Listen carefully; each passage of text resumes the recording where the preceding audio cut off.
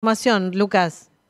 Exactamente, Cata, Luis, para hablar de algo muy, pero muy importante que venimos repasando todas las semanas que tiene que ver con la reforma de la caja de jubilaciones de la provincia de Santa Fe. En esta oportunidad,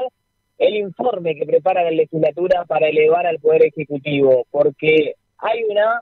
posible fecha, será esta semana la entrega del informe de la Comisión Previsional al Poder Ejecutivo. Pudimos hablar con el senador Rodrigo Borla, quien encabeza esta comisión, y si les parece lo podemos escuchar. Definimos que miércoles y jueves son las últimas dos reuniones. Eh, en esos dos días, bueno, obviamente vamos a definir este, este informe, donde, bueno, en el día de la semana pasada, el día jueves, avanzamos algunos puntos en común, que es muy importante, como el caso de, bueno, una caja de jubilaciones eh, en el ámbito de la provincia de Santa Fe, con un régimen de reparto, con un régimen solidario. Bueno, habrás visto ya la, segunda acción que el gobierno provincial hizo contra el gobierno nacional por el tema de la falta de transferencia de fondos. Se continuó la primera acción eh, del doctor Beder del año pasado por el doctor Rondina y actualmente bueno se presentó una demanda para que se hagan las transferencias automáticas que suspendió la actual gestión nacional con el decreto 80 y también dentro del informe los sectores gremiales han planteado que ellos quieren hacer su, obviamente su posicionamiento, así que bueno, va a ser un informe muy amplio en cuanto a la, al contenido varios de los sindicatos,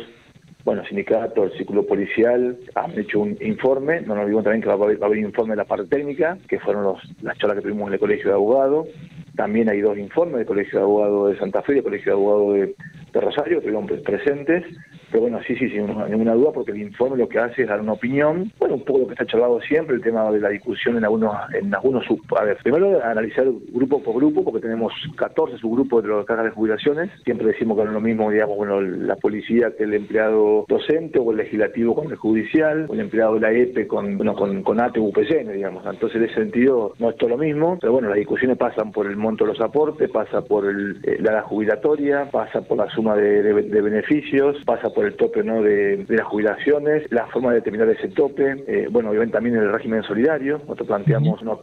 opinión que tiene que ver con que el que más gana más aporta, pero después se, invierte esa, fórmula al momento de jubilarse, el, que más ganaba va a jubilarse con un poquito menos y va a ayudar al que menos ganaba para que tenga una jubilación mejor. Esto fue planteado por el doctor Cóceres en las charlas que hicimos en, el Colegio de Abogados, nos pareció muy bien esa fórmula, así que bueno, creo que podría pasar un poco en la discusión, que obviamente esto es un informe no vinculante, así que después el Ejecutivo remitirá la ley que le parece más, más conveniente.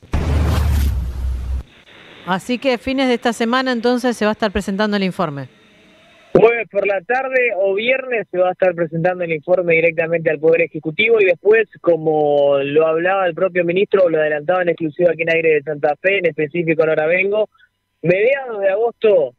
es posible, casi les diría que va a ser mediados de agosto, se va a estar presentando la reforma de la caja de jubilaciones en la provincia de, de la legislatura santafesina. Gracias, Lucas. Por favor, abrazo grande. Cuatro